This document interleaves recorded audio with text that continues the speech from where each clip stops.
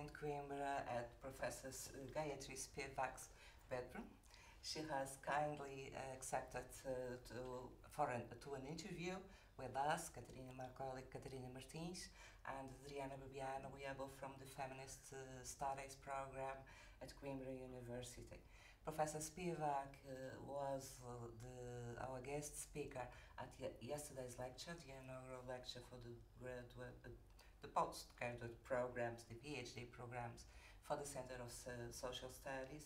And we thank you a lot for this extra time. It wasn't in the program, and you were kind enough to accept um, to, for the, to this interview. Catarina, shall we start? Yes. Good afternoon. Good afternoon to you. Thank you for having us here.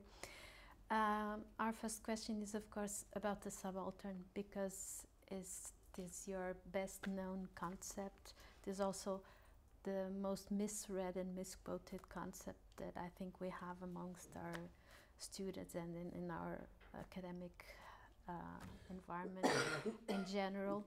Uh, first of all, we have a translation question because in Portugal we have to know whether it is the subalterna as a feminine or a masculine word that, that means where is the gender position in the definition of the subaltern.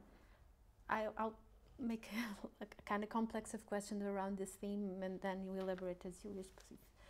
Uh, who or what is the subaltern and possibly the story behind uh, your first uh, uh, mention of the subaltern in the article Can the Subaltern Speak?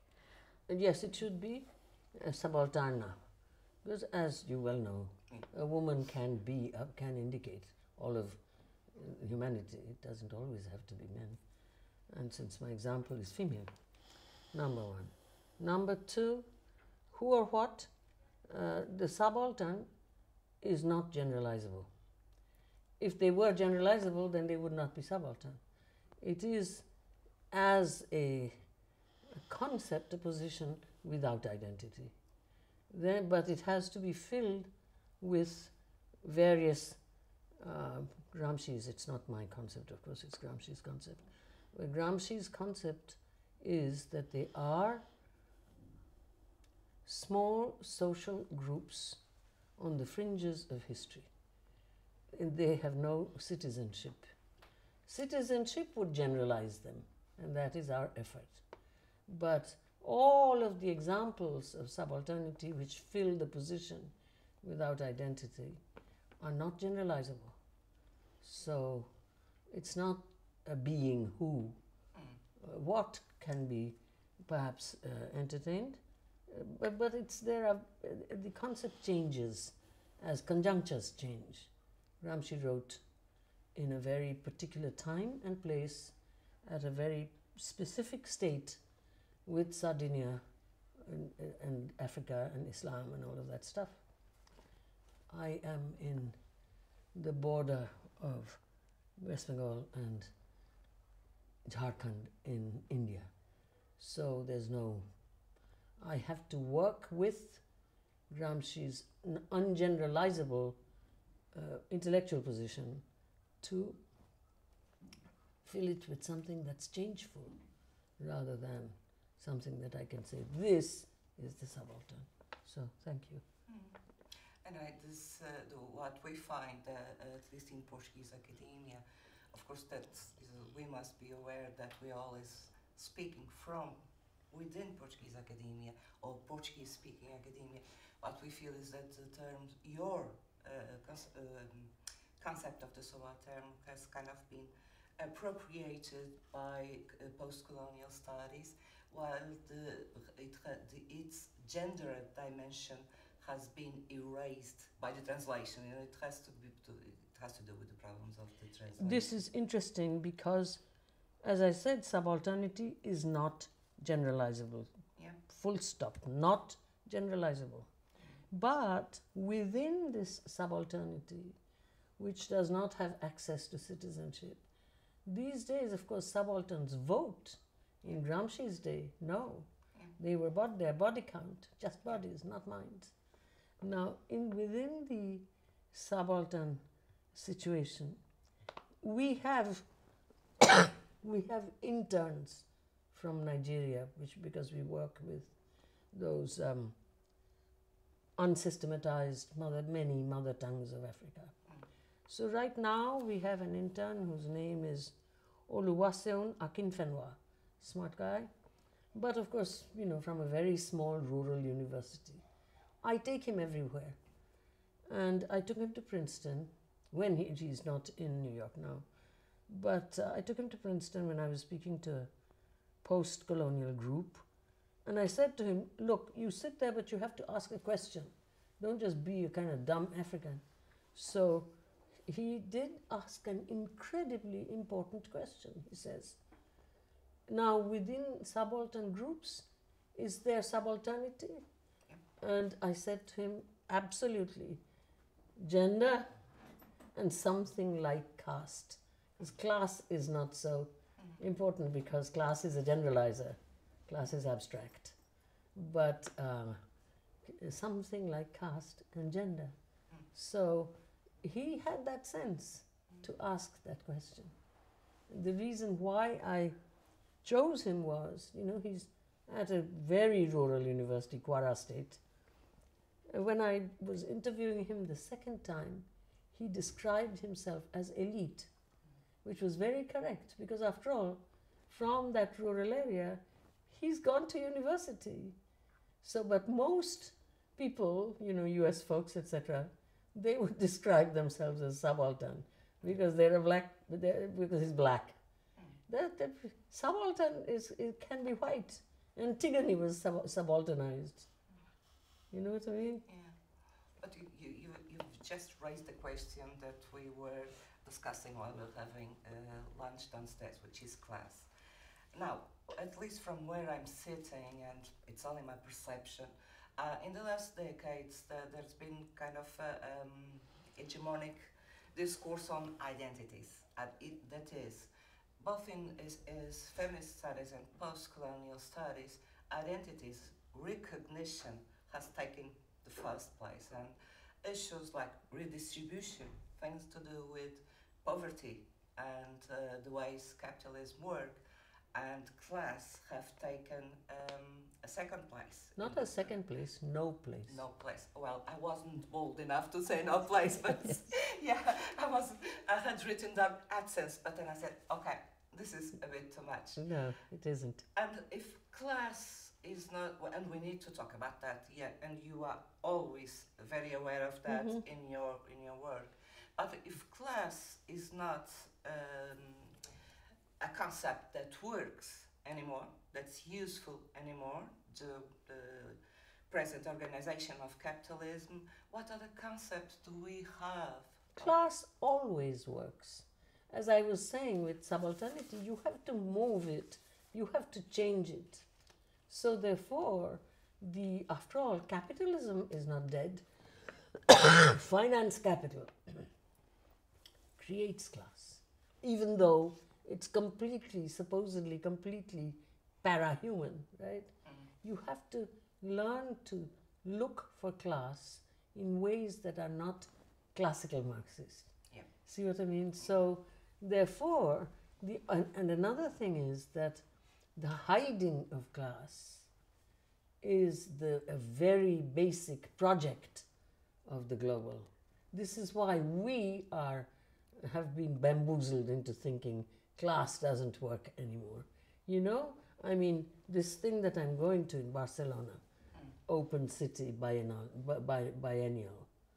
See, they have no idea that all of their attitudinizing is a complete ignoring of the development of class. Class doesn't look like what it used to look like. It's not like the proletariat. Yes.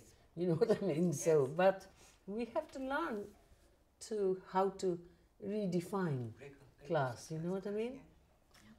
That's what that brings me to my question. The the notion of the subaltern is used mostly from within a, a post-colonial framework of thought, and from a feminist uh, framework of thought, it used to be more present.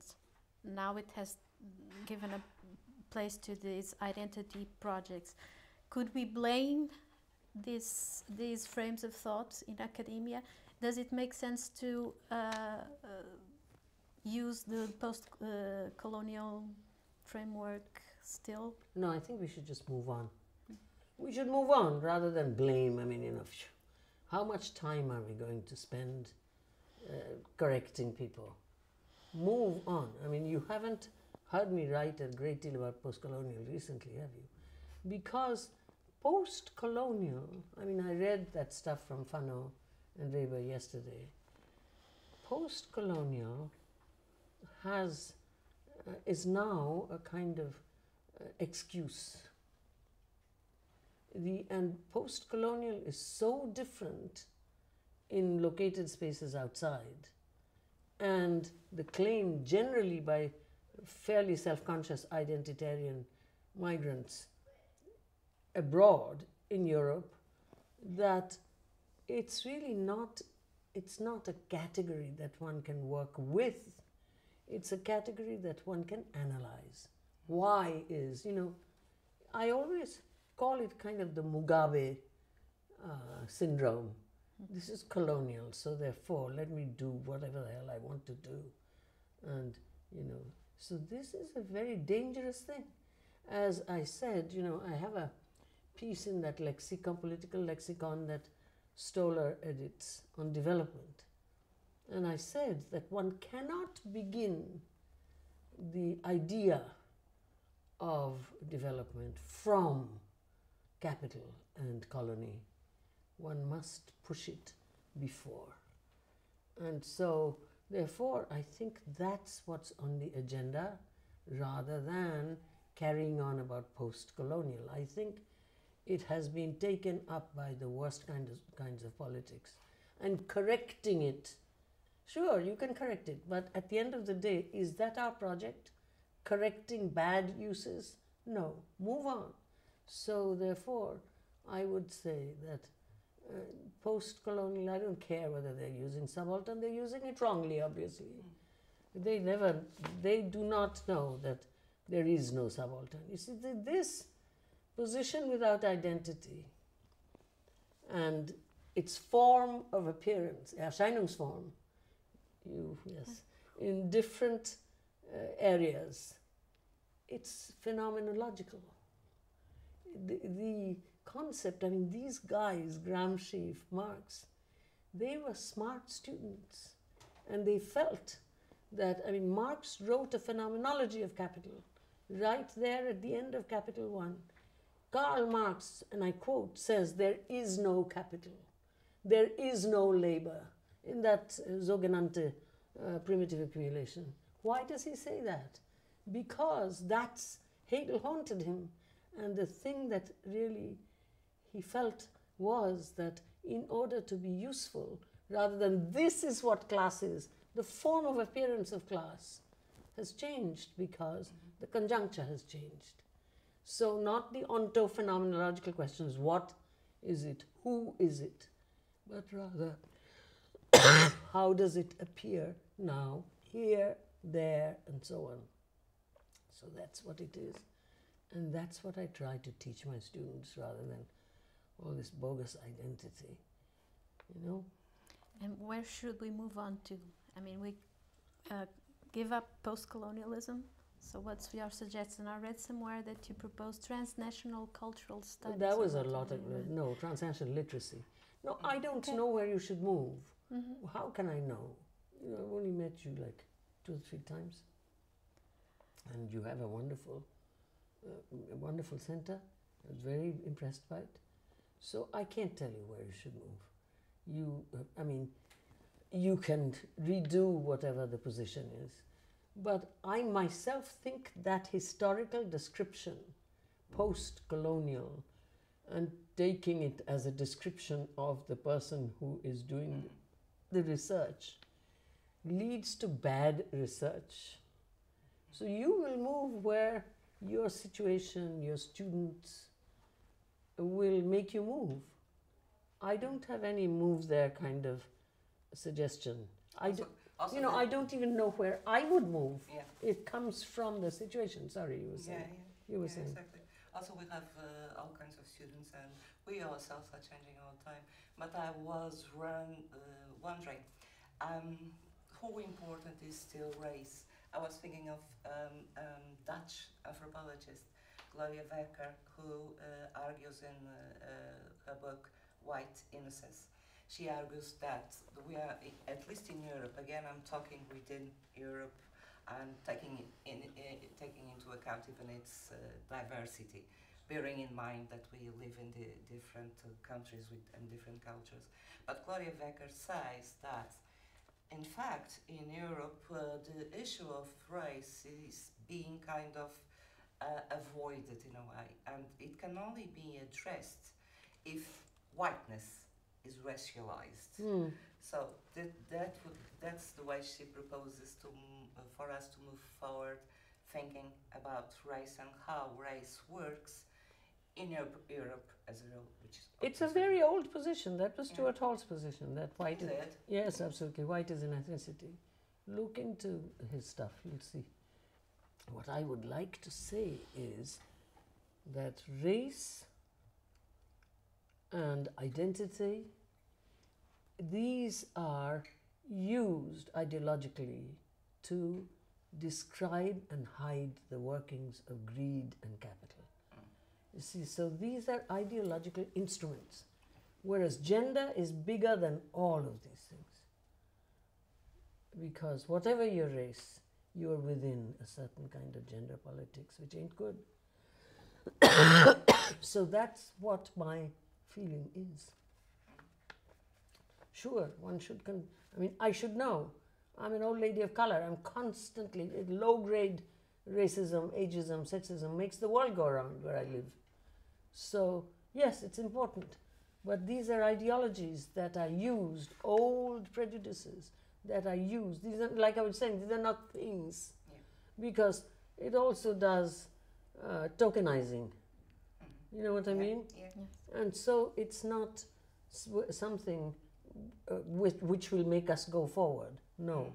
Look at how it's used positive, negative, showing, like gender is used, right? Yeah. During the critical thing, uh, the, the crisis, the women who were uh, at, uh, at the top in Goldman Sachs Mm. were trotted out to show how good Goldman Sachs was with gender, and they said how good Goldman Sachs was Mm. this corporate stuff. I mean, I'm constantly invited.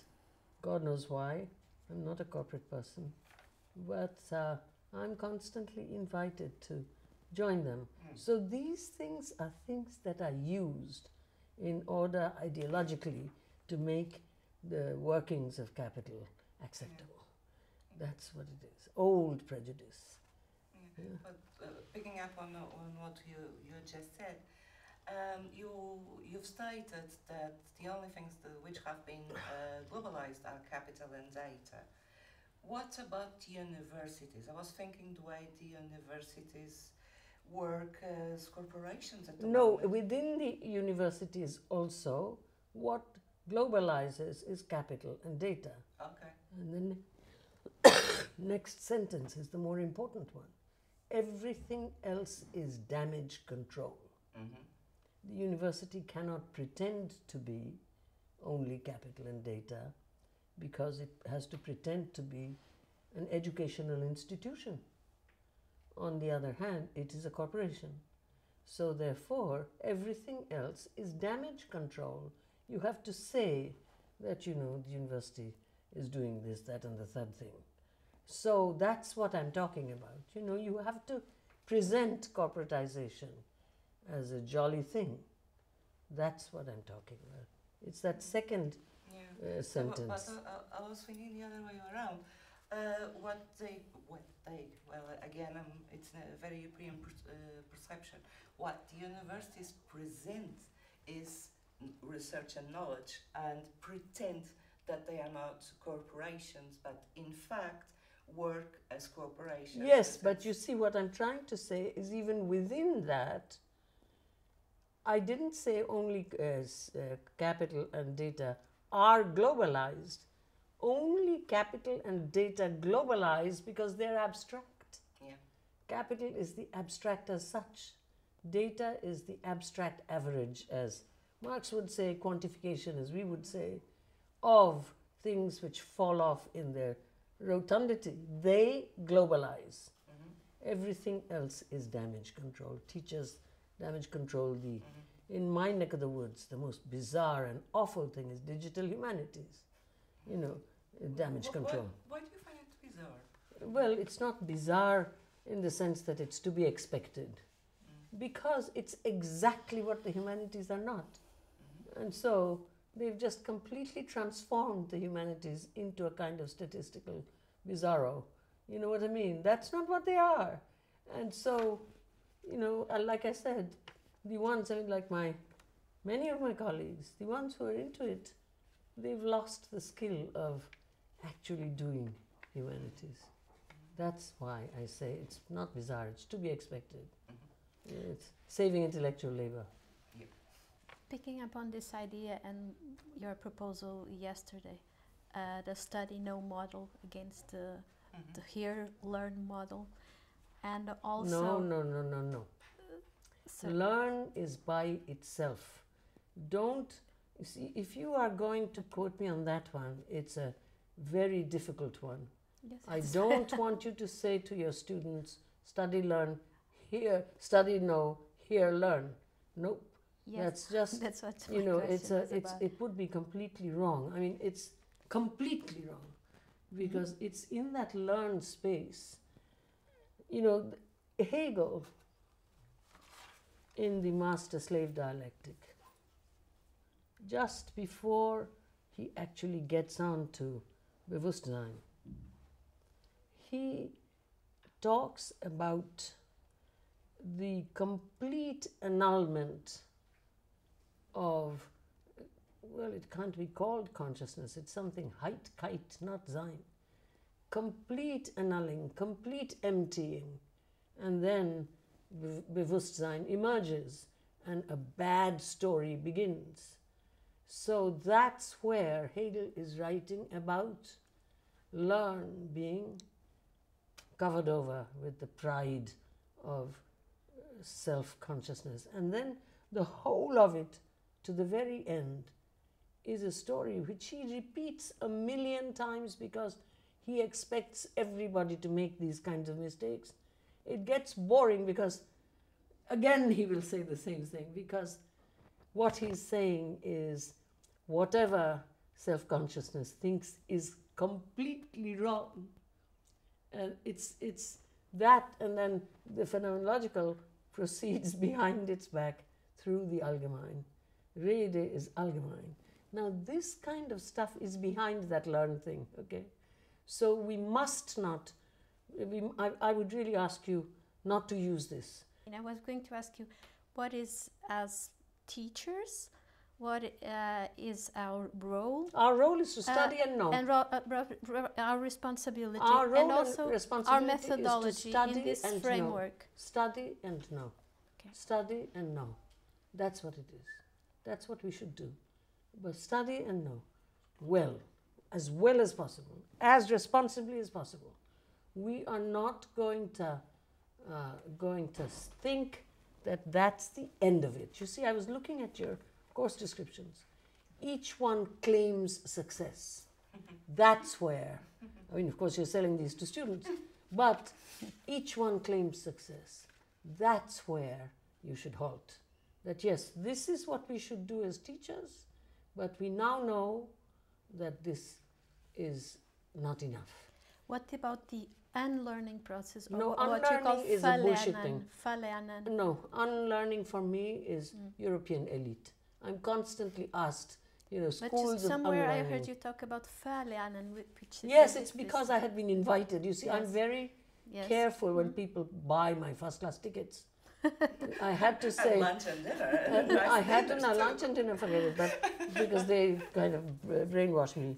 But I'm very careful, you know, I'm not going to accept the damn first class ticket for a huge, wonderful festival, which they did to say we are not Nazis, and uh, say that, hey, everything you're doing is bullshit. No. But that's why I tried to be as careful as possible without lying. I think this whole whole craze about unlearning is extremely elite when hundreds and thousands and millions of people cannot enter the mainstream. And it, what we have to do is transform the mainstream, which, is, which has been my work. It's extremely difficult to do. I teach the state curriculum.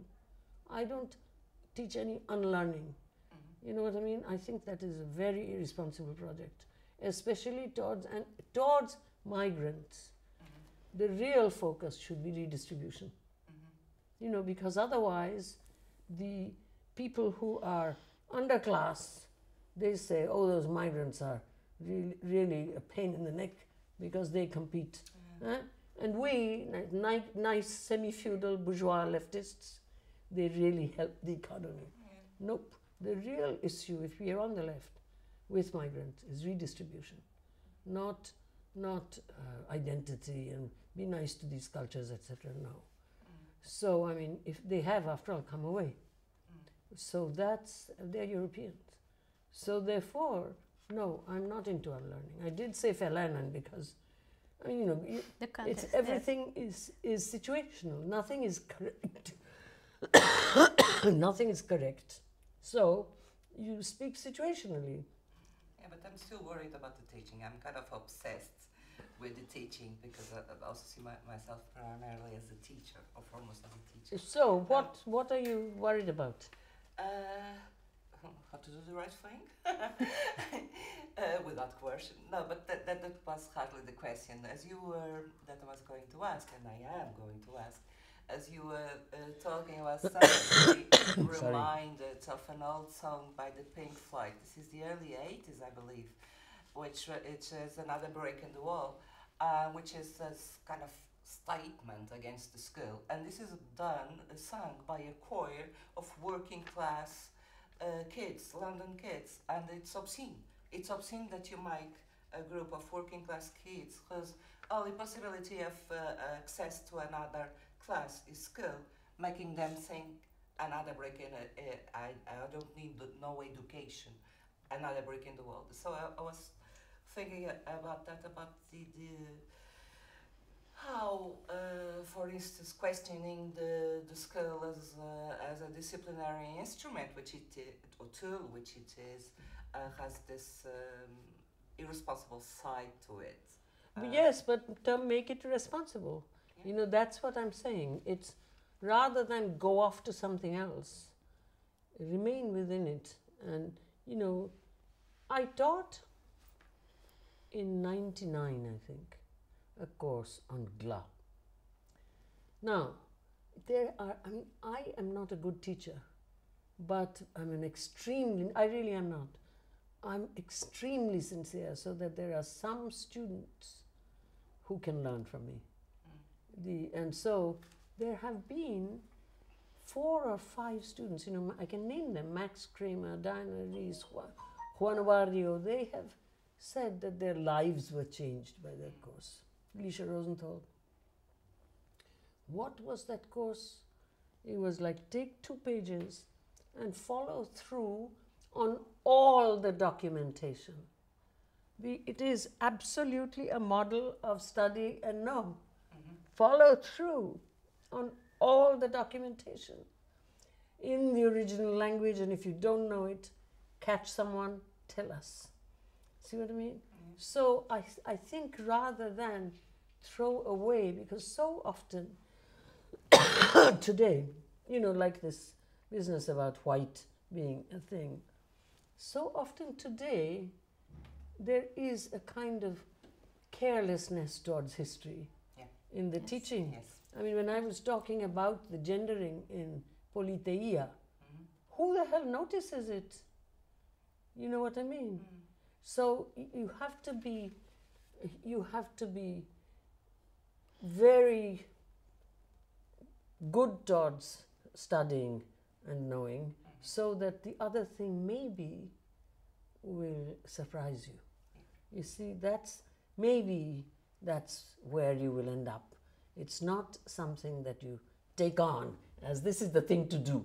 Yeah. No, no. Because then I will hear people saying, We are really hearing. And I'll say, Oh, Gayatri, Why did you say it?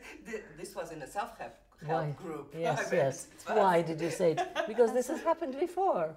They're ask doing. Do they're doing all kinds of things that. that I haven't been able to do in 40 years. But they're doing I it. I would like to just insert a question, and I think you can go on with, th- that one. I mean, I w- I'm trying to imagine myself in the context of our center and in the context of the work we have been developing, in, in what direction it has been developed, and why our students stick to your concept of the subaltern. I mean, because it serves them in this simple notion of the colonial. And they find probably your work hard to read because it brings us back to uh, reading uh, Europe, 18th century, 19th century uh, Europe and philosophy, and all that things that you think have been forgotten their gender dimension, their class dimension, their power dimension as a whole. So uh, we uh, they more easily go into what you also a question yesterday, and I re- would really like you to develop on that alternative knowledges and Epistemologies. epistemologies. I we think call it they are completely bogus. Let me tell you, people who have come for validation to universities that are on the model of medieval Europe, then within that framework, they, and you know, medieval Europe had a lot to do with Islam and so on. I'm not saying. Medieval Europe model is all just white folks like your uh, Swedish or whatever, what you call it. You see, it's Dutch and very black. okay, Dutch. Okay. And very black. No, no, not. She no, was, yeah. But the thing is, it's that's the problem. Yeah. You see, coming from a very black position, that's the problem. So the it's it's it's so I'm not. I'm asking you not to imagine yourself. Okay, that's already a fact. So what is there to imagine? The, imagining is the on the other side, but you're doing that with your students. So the alternative epistemologies discourage them because you know if there has been within africa the guy that dutch guy whose name begins with p which is not his real name and uh, he certainly wrote uh, very carefully about bantu epistemology but he actually did work very hard at it he wasn't offering it as a very nice thing he was studying it you know what I mean? So that even folks like Souleymane Bachir Diagne, these uh, Paulin Hountondji, the ones who work on African philosophy, they like what he did. He's a Dutch guy, as it happens, but and not very black. But the thing is, but the thing is that so there are, and I was talking about Bimal Krishna Matilal, those who do something like other ways of knowing, which is what See, first of all, they don't think of them as alternative. Okay, to think alternative is to be Eurocentric. Mm-hmm. Alternative to what, pray tell? So, in fact, this is something that I we because people always say, you know, in my culture we think differently. The moment you can say my culture, you're not within it. Because if you are within it, then you think it's human nature you don't think it's a culture. It's really true. Mm. You know, so the, the this whole business in the United States of selling your image and so on. People think that's human nature, not the culture of greed and capitalism. That's what a culture is. So therefore, discourage them, I would say. See here, I'm very clear. It's nicely, nicely turn them into another direction.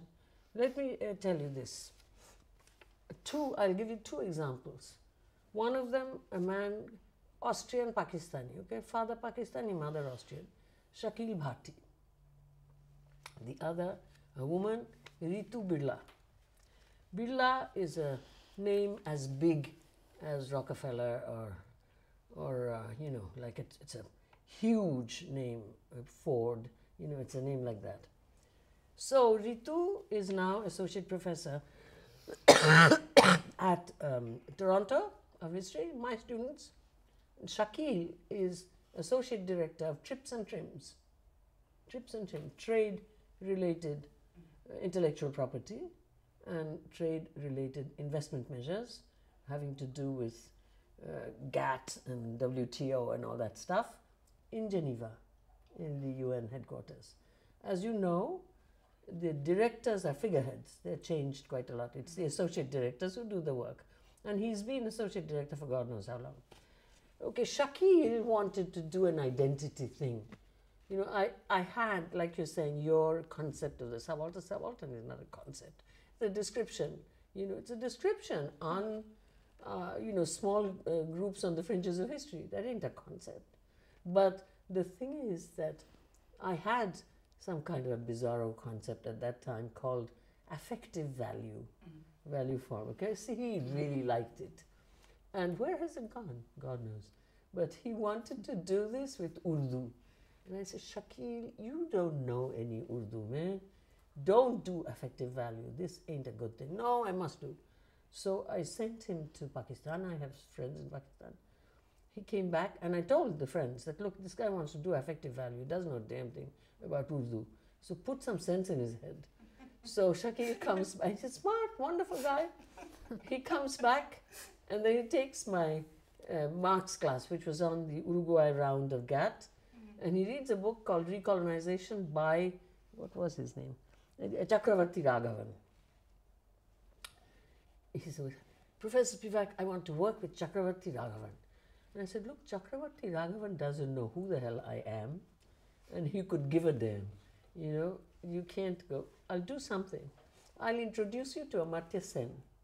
If Amartya Sen, you know, the Nobel Prize, Amartya Sen thinks you are uh, convincing, then he can speak to Chakravarthi Raghavan. Well, Amartya did, and uh, Shakil went to Geneva, and look where he is. And he, he wanted to do identity, right? Yeah. But he's doing something much more important. And then he really is looking at subalternity Mhm. because that development stuff, you know, indigenous knowledge, etc., that's subalternization. Yeah. And then this, you know, uh, DNA patenting, all that stuff, that's his work. Yeah. And on the other side, Ritu wanted to do, you know, culture, my culture type thing. So I said, Ritu, you come from this extraordinary uh, um, uh, world of financiers. Write about that. Mhm. Become a historian of uh, f- family-based, non-Western capital. Capital. Ritu's grand great grandfather, great grandfather, no, yes, was before independence. Ghanshyam Das Birla, the sixth richest man in the world, Mhm. before independence, an Indian. Mhm. So you can imagine their completely different model, you know, like um, uh, almost potlatch like use of surplus, all those dharamshalas, etc. Family capitalism. And so she wrote a book, How the British Fought This, you know, and she, it's called Stages of Capital. It is such a fantastic book that she won not just a South Asia History Prize, but a British History Prize. Mhm. See what I mean? So that's the way I ad- advise my good students when they are naturally moving, this, because look, I had the usual identity crisis that the middle class, well placed metropolitan migrant has. And as a result, I wrote two finger pointing articles, three women's texts, and Can the Subaltern Speak? You understand? But then, you know, when in 86 I entered the work of real hands on activism, Mhm. I realized complicity. Everything we have folded together. And so, therefore, what was my title? Outside in the teaching machine. That became the model. Can the subaltern speak is before that. You know what I mean? So that was a beginning. What happened? I began to work for the subaltern, which is very different from in order to create a situation where perhaps there will be infrastructure which will listen, which, which is what it means to speak, right? So that's my story about identity. And it is natural. Even Edward Said told me, I suddenly felt that I was Orientalized. Mhm. You know, but that's not a place to begin. I acknowledge that I felt it, but that was a United States feeling. Mhm. You know what I mean? So But, but can you help? I was uh, yesterday in uh, the introduction, uh, introducing introducing you at uh, at the lecture. I mentioned the problem, which I really don't know if it is a problem of misquoting you, misreading you, and misquoting you.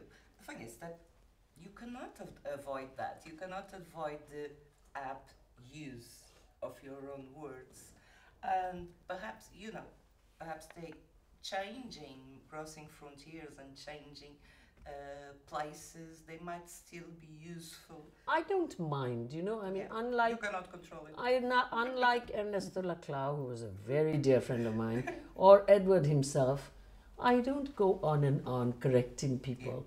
If they're reading that in my work, then I must have written in such a way Yeah. that people from that conjuncture we'll read it like that. Yes. Learn something, write differently next time. You know what I mean? So the fact that it can work tells me nothing Mhm. you know, because given the situation within which it works, it's, uh, I mean, I'm ashamed, you know, that because it generally is the university student seeking validation from a so called minority who then feels, and that's really um, supporting um, a very bad group. I mean, they're nice as human beings, Yeah. but they're bourgeois ideologues, and you know they will. And what the world offers for them to do good is very feudal, top-down philanthropy, and so I'm helping them by writing in such a way that they can read it. Uh, I was thinking about the connection or disconnection between theory uh, and practices, and the, your last answer reminded me of a phenomenon which I have witnessed uh, in, uh, in academia uh, recently, which is the um, deep, deepening of, uh, of a tendency for self-referential theory. Mhm. You know, it's a, a frenzy of quotations and From oneself. uh, not from from others. Oh, I uh, see. Self-referential theory. So people go on, you know, uh, on buzzwords uh, like six, six buzzwords per line and a frenzy of quotation, and it has to do with that seeking validation. So the, the, Mm.